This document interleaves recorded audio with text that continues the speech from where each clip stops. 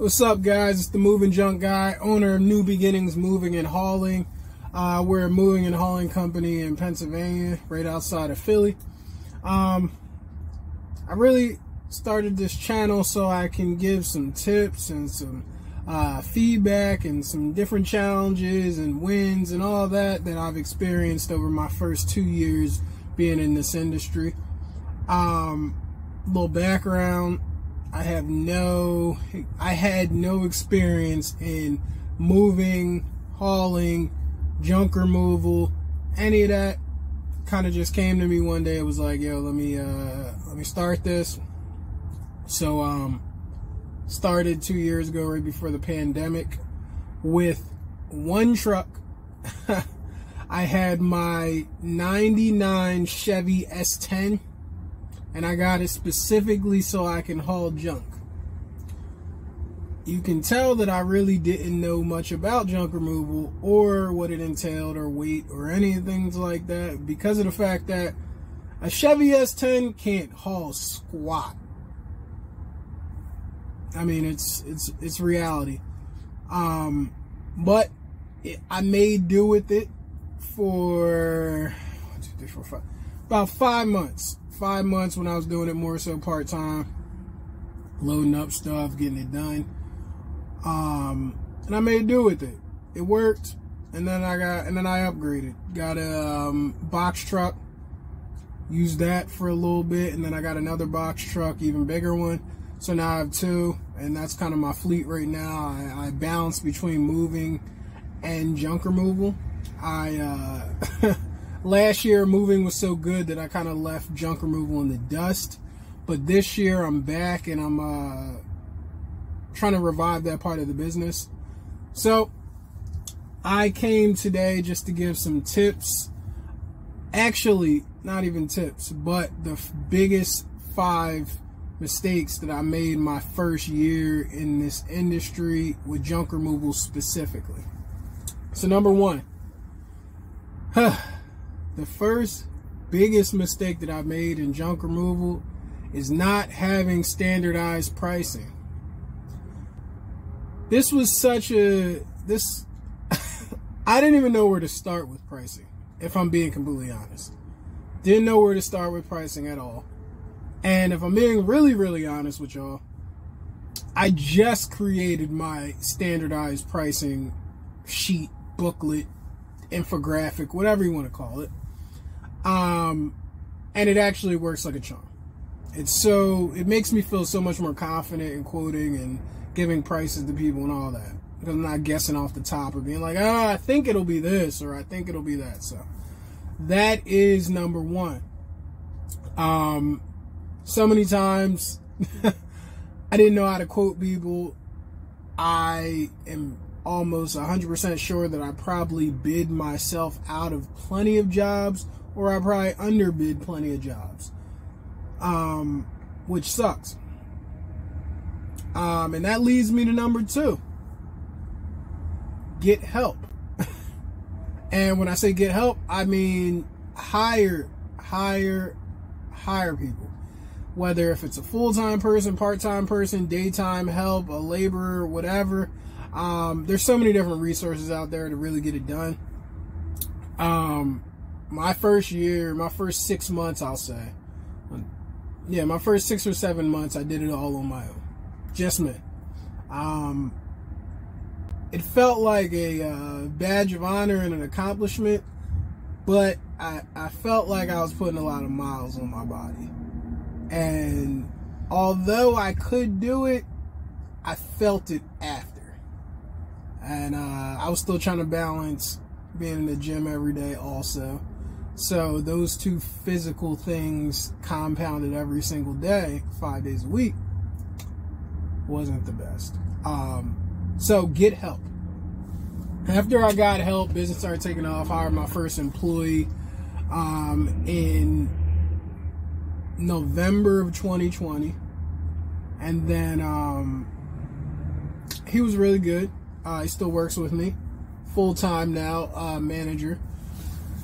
And um, yeah, get help because you don't really count on how long something could take.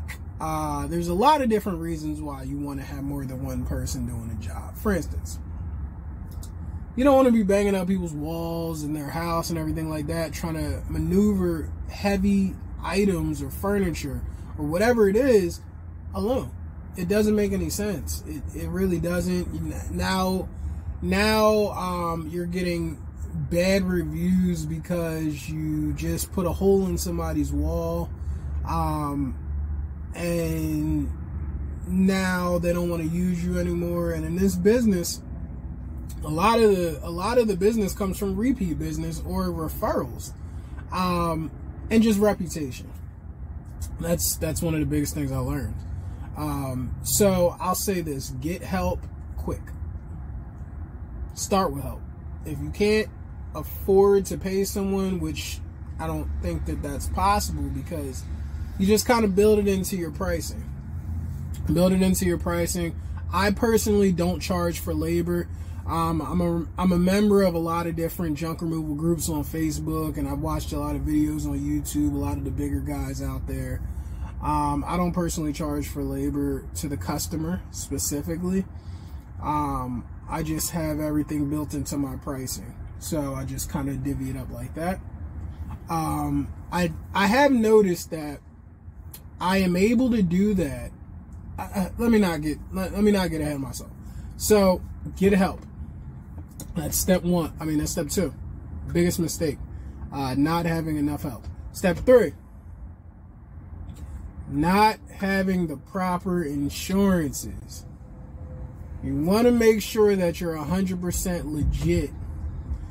Not having the right insurances is so huge because of the fact that, to my earlier point about having help and not banging up people's furn- uh, furniture and their house and their home and all of that, when you do bang up somebody's stuff, because it's bound to happen, it's human error, it happens, it's okay. Most of the time, homeowners understand as long as you have insurance, because then you can just put a claim in and boom, bang, boom. Uh, they're not liable. They get their stuff fixed. You get the job done, and they feel peace of mind. They still might, you know, be a little salty, but uh, I mean, what can you do besides put in a claim and get them their uh, their house fixed or whatever? Um, I see a lot of people without insurance, and I don't understand why. General liability for a junk removal company is so cheap. And I can say that because I have a reference point for you. Um, I personally use Next Insurance for my junk removal general liability insurance. Um, very cheap, like 50 bucks a month or something like that. And that kind of covers me for when me or my guys or somebody goes into somebody's home, removes something, they scratch up a wall or they bang up something. I've had to use it a few times, not too often. Uh, we're actually pretty careful, which is really good. Um, but in comparison, and why I say that it's so cheap, $50 a month, because I said that I also operate a moving company. Moving is so much more regulated and you have to have so much higher insurances.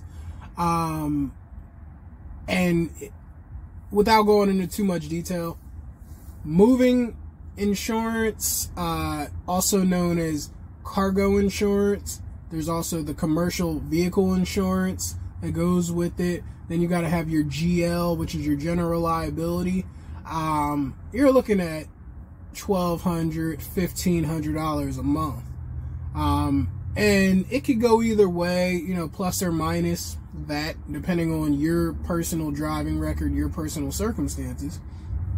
Um, but yeah, you get the idea. $50 or um, $1,500. I, like I said, I operate both, so that kind of answers that question for you. Yes, I pay both.